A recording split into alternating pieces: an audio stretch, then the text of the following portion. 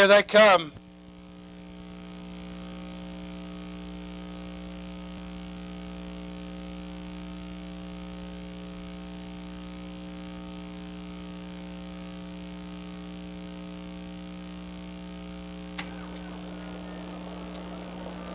They're off and pacing in between horses. Time in a bottle left for the lead. All no control towards the inside left. Three wide into the turn.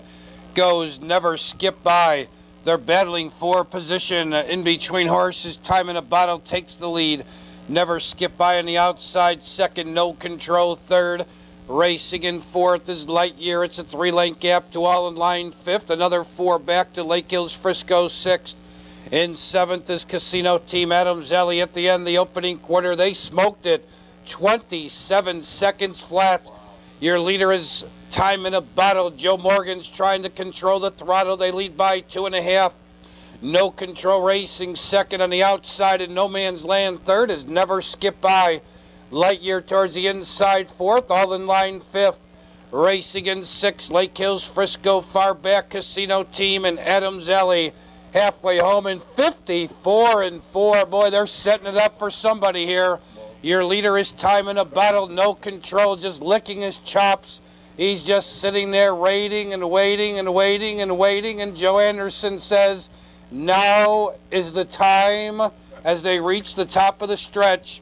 It's time in a bottle leading up on the outside. Here comes no control to take the lead. They turn for the money and pass three quarters. 124 and 3, no control, leads by four.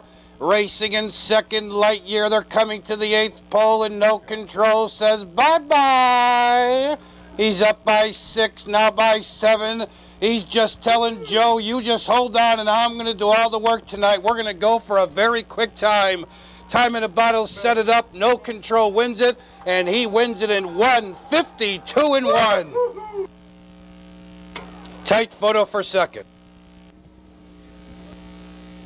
Now let's check in at Balmoral if we have prices. We do have prices, Tony. The Quinella 1-4 pays $5.80, 580 on the Quinella.